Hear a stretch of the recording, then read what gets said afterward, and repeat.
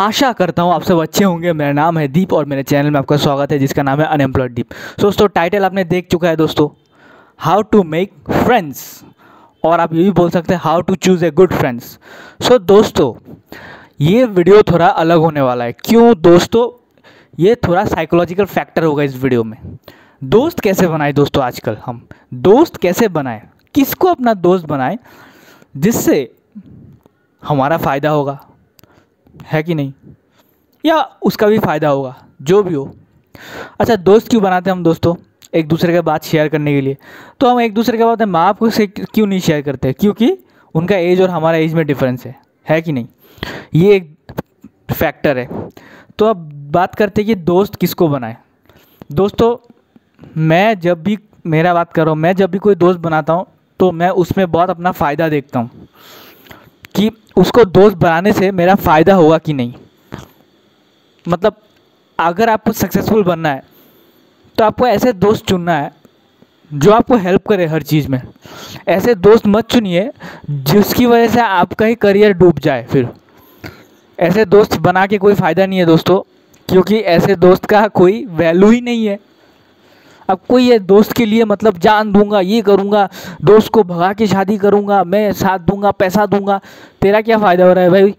वो तो शादी कर रहा है, तू उसके, अब तेरे पैसे से, तू उसका दोस्त बोल के वो कर रहा है। हाँ मैं उस दोस्त के लिए सब कुछ करने के लिए तैयार हूँ, वो जो दोस्त मेरे लिए करता है। मेरे कुछ दोस्त है भी जो मतलब मुझे हेल्प करते हैं, उनके साथ मैं बहुत अच्छा वो रखता हूँ। काफ़ी मेंटर्स हैं मेरे, लेकिन मैं जब भी कोई दोस्त बनाता हूँ तो सोच समझ के बनाता हूँ, क्योंकि दोस्त बनाने के लिए दोस्तों, पहले आपको मतलब दोस्ती ऐसा नहीं है दोस्तों, दोस्त बनाने के लिए आपको पहले, देखिए, इस दुनिया में आपको पहले खुद खुद से दोस्ती करना पड़ेगा दोस्तों। आपको खुद का दोस्त खुद होना पड़ेगा। तब जाके आप मतलब इस दुनिया में रह पाएँगे, क्योंकि दोस्त तो हर वक्त आपके साथ नहीं रहेगा ना दोस्तों। सो दोस्ती करने के लिए पहले आप अपने आप को दोस्त बनाइए।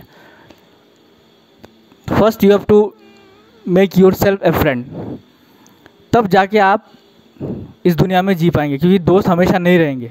अब कई लोग बोलते हैं कि, अब एक डायलॉग है दोस्तों, मैं आपको बता रहा हूँ। इफ़ यू मतलब क्या बोलते हैं मतलब इंग्लिश में वो आपको हिंदी में बोल रहा हूँ मैं, क्योंकि अगर आप पाँच अनसक्सेसफुल लोगों के साथ रहेंगे ना तो आप भी अनसक्सेसफुल ही बनेंगे। और अगर आप पाँच मतलब सक्सेसफुल लोगों के साथ रहेंगे, बैठेंगे तो आप सक्सेसफुल रहेंगे। तो ये बात है दोस्तों। और दोस्तों मतलब कि सक्सेसफुल बनना और बहुत ज़रूरी है दोस्तों। पाँच अनसक्सेसफुल मतलब पाँच भिखारी के साथ आप घूम रहे हैं, उसका मेंटलिटी जो होगा, वो आपका भी होगा।